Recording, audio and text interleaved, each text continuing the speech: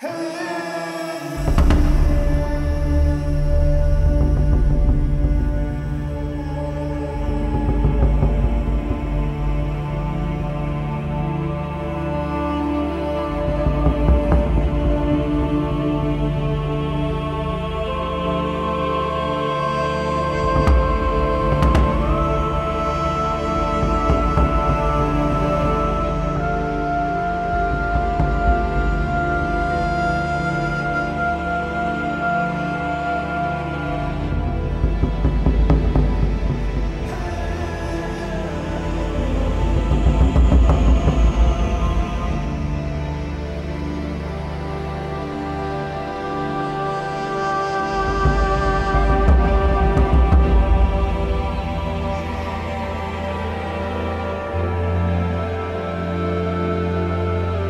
2024 VW Touareg facelift accurately rendered based on teasers.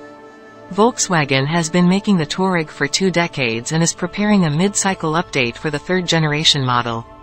Following an official preview last week, a batch of speculative renders attempts to peel off the camouflage to reveal the production-ready design cues.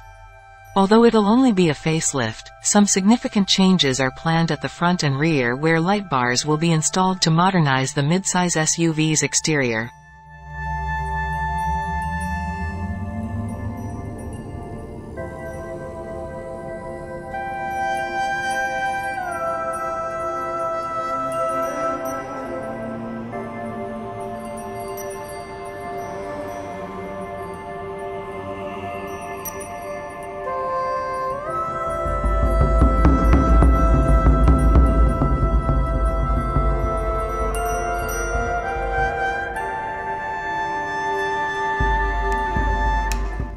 It'll be the company's first model sold in Europe with an illuminated badge as the Touareg will have a bright red VW logo on the tailgate.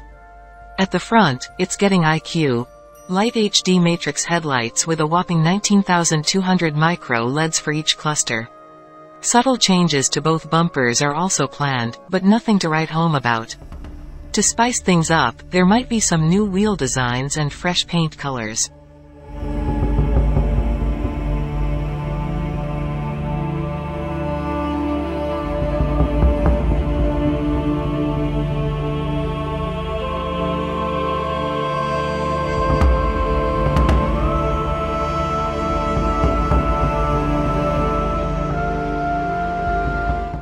Sold exclusively with all-wheel drive and an 8-speed automatic transmission, the Touareg will remain a forbidden fruit in the United States. Aside from previewing the exterior, VW has also shown the familiar cabin where the optional 15-inch touchscreen will soldier on. The interior will go through some discrete changes to boost quality courtesy of softer materials but the general layout will be carried over from the current vehicle.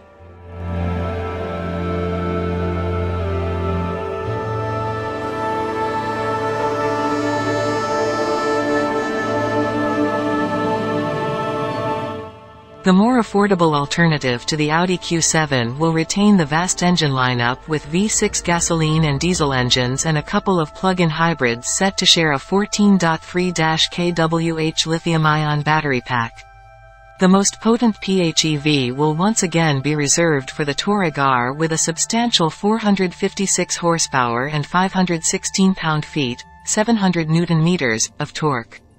VW will take the wraps off the 2024 Touareg in May and have the revised posh SUV on sale in the latter half of the year.